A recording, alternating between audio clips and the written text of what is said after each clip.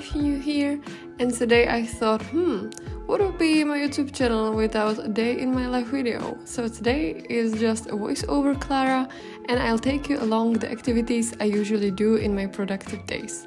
Hopefully, you will get some inspiration. So, the first thing I do is to pick up an outfit. It usually takes me 20 seconds or 20 minutes, nothing in between.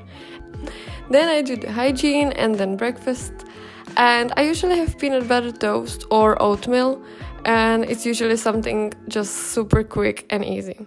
And today I felt super brave because I took white jeans. and what's not that quick and easy is my skincare routine. so, first I put on this cute headband because otherwise my bangs would get greasy. And then I start with vitamin C serum from La Roche.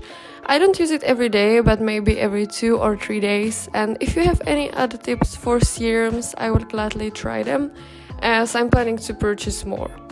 And then I hydrate my skin with Clinique Moisturizer Surge Intense 72 hours.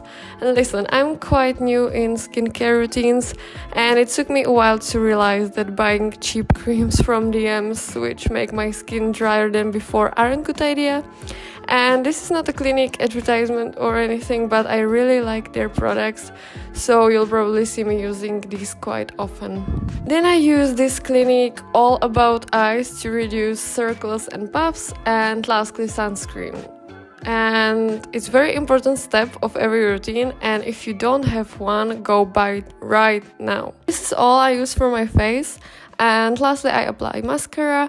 I get this for my birthday or Christmas because it's Dior and it's called Iconic Overcurl and I really recommend this one.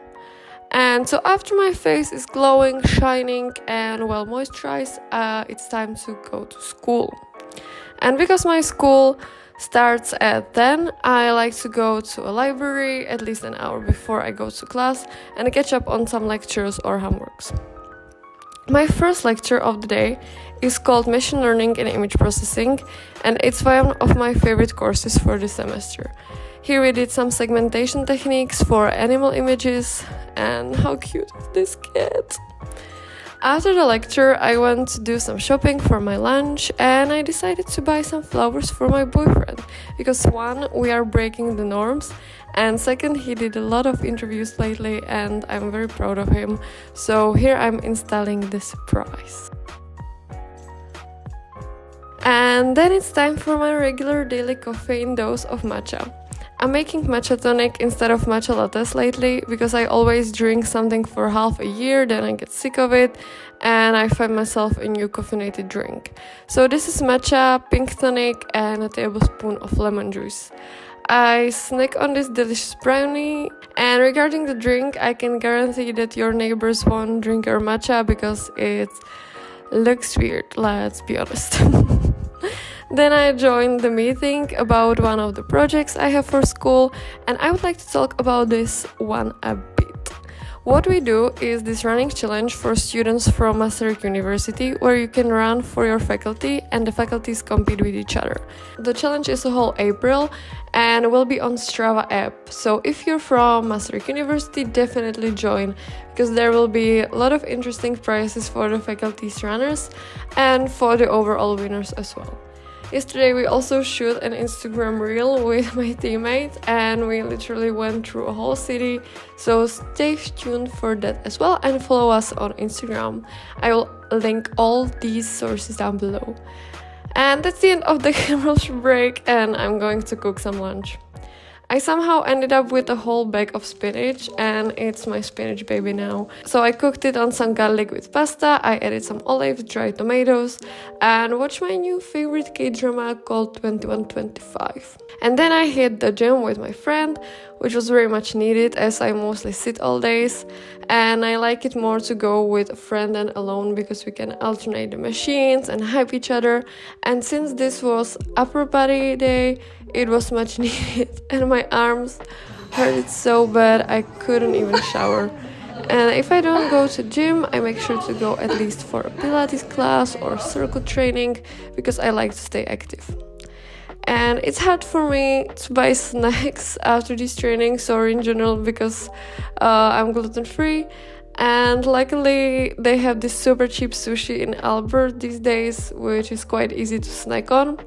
And I combined it with a spinach smoothie because you can't apparently never have enough spinach. and I waited for my boyfriend in front of the school as I ate my sushi, but I found out he already went for our lecture. So I ran there as well, eating my sushi on the go. And that was my last lecture of the day, which ends at 8 p.m. So we usually go to the pub afterwards because the lecture is very socializing in opposed to all my other informatic lectures.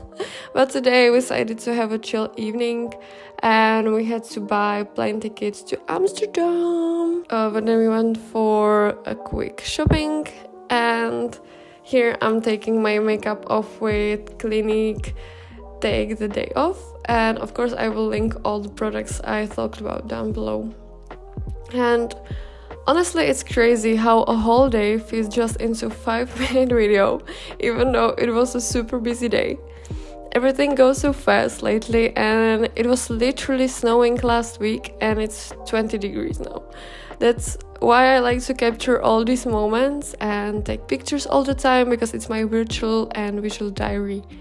And what I also did for some time was to write a sentence or two about each day and the most story worthy moment.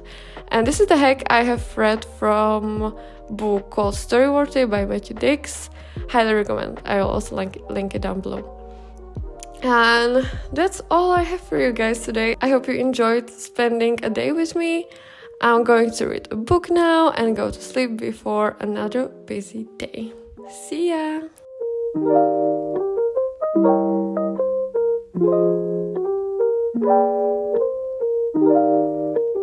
you.